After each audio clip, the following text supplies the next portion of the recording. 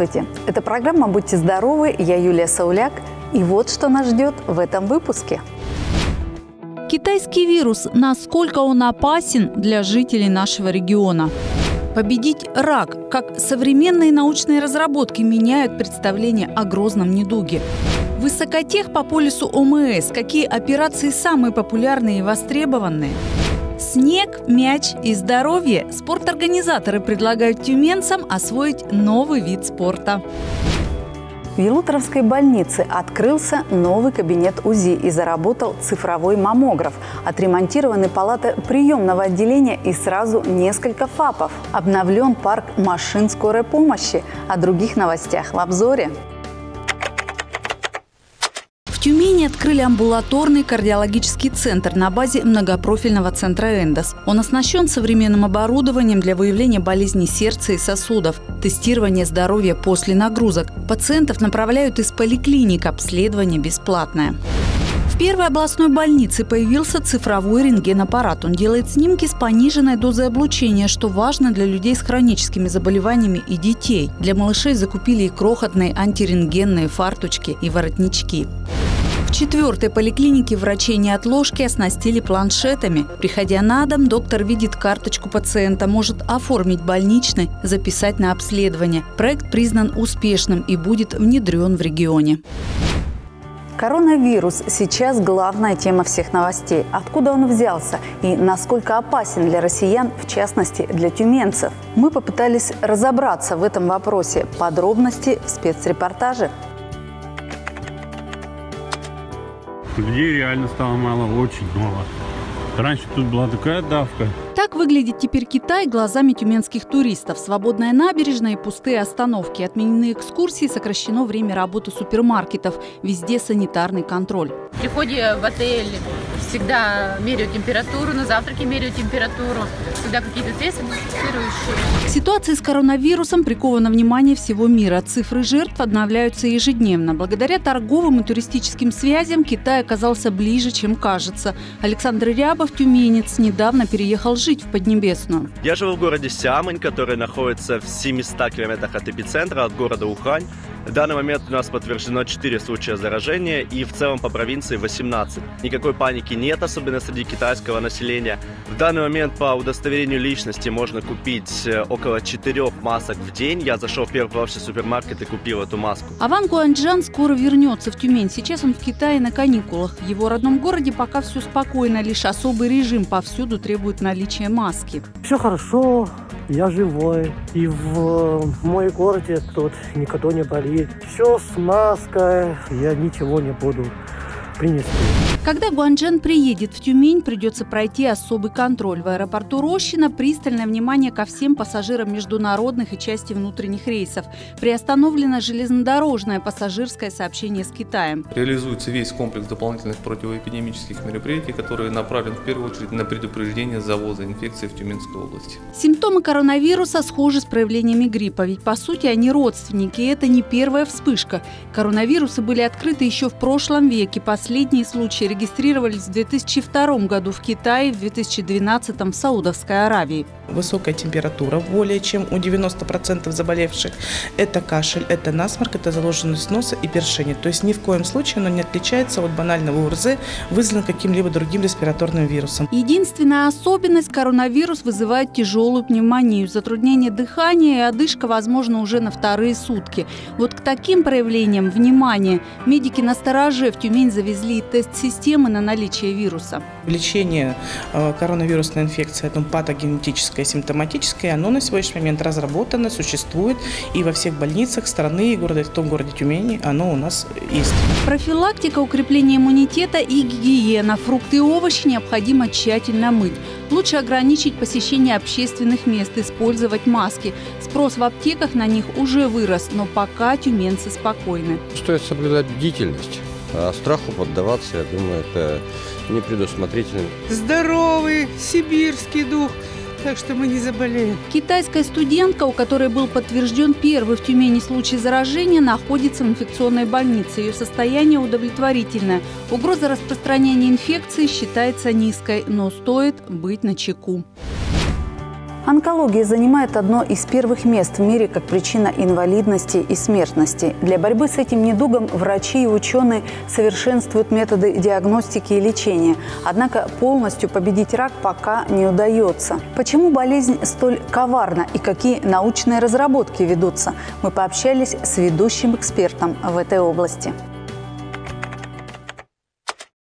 Ливон Андреевич Ашрафян, врач-онколог, академик Российской академии наук, руководитель лаборатории комбинированных методов лечения гинекологических заболеваний Российского научного центра рентгенорадиологии Минздрава России.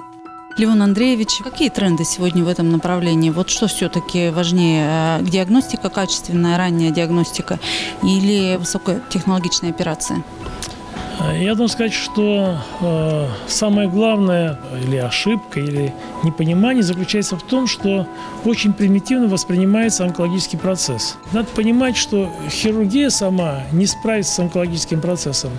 Э, сегодня э, молекулярная биология, клиническая онкология открывает многие завесы того, как изначально выстраивается онкологический процесс. Ведь многие этапы его становления нам невидимы. Да, ну, появились же даже анализы, да, по которым можно сдать анализ крови и понять, вообще есть нет предпосылки. Вот когда появились уже абсолютно четкие э, признаки, даже сказать, по анализам, это, что может быть онкологический процесс, это уже поздно. Э, сказать, и поэтому сегодня э, даже ранняя диагностика, она необходима, сказать, она позволяет сказать, какую-то часть больных спасти, но она тоже не панацея для того, чтобы говорить о каком-то существенном скачке в лечении онкологического процесса. Э, сегодня э, большое значение имеет профилактика понимание того, что нельзя допустить развития онкологического, и мы, и мы знаем, в каких ситуациях, э, какая группа людей э, и вероятность развития этого онкологического процесса мы тоже можем прогнозировать. Только тогда мы можем иметь какой-то успех. Тогда, когда сформировался канцерогенез, его развитие идет по самым разным сигнальным путям и усмотреть, предугадать, по какому из этих путей развивается процесс. И он всегда ускользает, всегда есть возможность э, выстраивать новые совершенно сценарии развития болезни. Нельзя давать опухоли возможность меняться. Как только опухоль так сказать, э, находит другие альтернативные пути, то это говорит о том, что те препараты и те методы воздействия, которые мы применяли до этого, уже на другом этапе, они не будут иметь успеха. Кроме хирургии, кроме химиотерапии, э, кроме лучевой терапии, необходимы еще точки воздействия, которые нацелены на эти слабые звенья. А такими слабыми звеньями является опухоль ассоциированное воспаление, которое необходимо блокировать. Появились э, недавно данные о том, что опухоль поддерживает свою жизнедеятельность за счет определенных принципов э, сказать, э, получения энергетики. Сегодня э, молекулярная биология очень интенсивно развивается, и, возможно, в ближайшее время появятся еще некие слабые звенья, которые позволят подобрать препараты, подобрать э, стратегию воздействия на опухоль с тем, чтобы наши лечебные мероприятия имели больше успех. Надеемся, что всю эту ситуацию можно будет э, каким-то образом ну, менять. И это очень долгий процесс, требующий неимоверных усилий и научного сообщества, и практического здравоохранения. В регионе развивается высокотехнологичная медицина. Среди самых востребованных операций по замене суставов, тазобедренных и коленных. Их проводят по полюсу ОМС в двух больницах Тюмени. Ежегодно помощь получают полторы тысячи пациентов. Подробности из первых рук.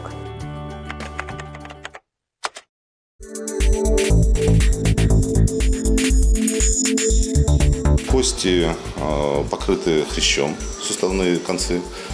А, при ряде заболеваний а, этот хрящ а, теряется, и пациент начинает испытывать боли, у пациента появляется ограничение объема движения. Операция заключается в том, что изношенный сустав убирается, убирается головка бедренной кости, и вместо изношенного сустава ставится новый высококачественный имплант, с которым пациент потом может жить до конца жизни и уже не чувствовать э, боли и какого-то дискомфорта. Имплант полностью имитирует биомеханику движений в суставе. Мы стараемся в своей практике использовать импланты качественные, которые позволяют э, на долгие годы пациенту забыть про какие-то проблемы, до того, чтобы, в принципе, не делать повторные операции. И можно сказать, что это операции э, благодарные, потому что пациент спустя несколько месяцев после операции просто начинает забывать, что у него установлен искусственный сустав. Самая молодая пациентка, ей было 18 лет, самый пожилой пациент – это дедушка 96 лет.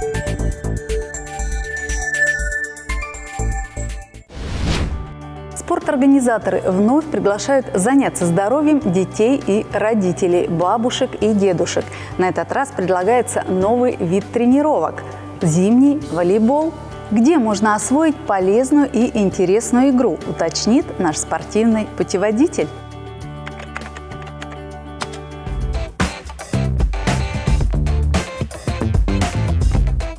Мы же живем где в Сибири, почему бы не поиграть на свежем воздухе? Тем более мороз не очень, так сказать, напрягает. Я просто поддерживаю, кажется, тонус и организм. Вот, э, самоощущение и очень хорошее после того, как и жить хочется, и день веселый, и настроение поднимается. Тюменцев разных возрастов объединил новый городской проект – волейбол на снегу. Конечно, можно играть в спортзале, но там уже неинтересно, там постоянные температуры, жара, а тут выходишь свежо, хорошо, дышишь свежим воздухом заряжаешься энергией от остальных ребят. Зимний волейбол проходит по классическим правилам, но если температура воздуха ниже минус 15 градусов, занятия проводят в спортзале. Главное, что какие-то навыки игры, то есть чтобы была подача, прием, ну и все как бы.